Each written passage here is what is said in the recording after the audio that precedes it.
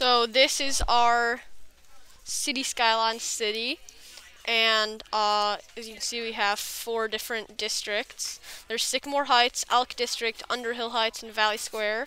And we made them, we started out here, so we made them in the order of Valley Square, then Elk District, then Underhill Heights, then Sycamore Heights. Um, if you zoom in, you can see this is a smaller area that has um, a little bit of industrial over here and mostly residential and commercial zones. And then we expanded out here and made another one on this side. These with loads of industrial, which is the yellow. And uh, Sycamore Heights is when we unlocked high density buildings like uh, skyscrapers, which are what we used. If you can look closely, these are much taller buildings than the ones in the other areas, which are smaller. And uh, we're uh, pretty evened out. Sycamore Heights is our main city. And uh, if you look, there's like all high density.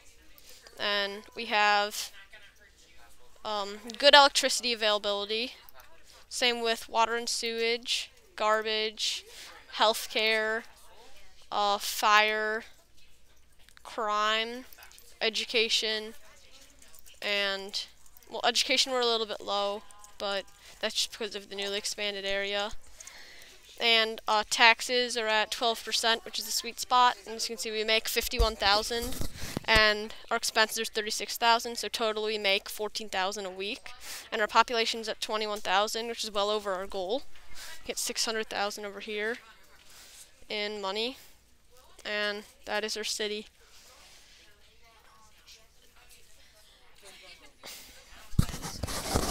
quicker this time.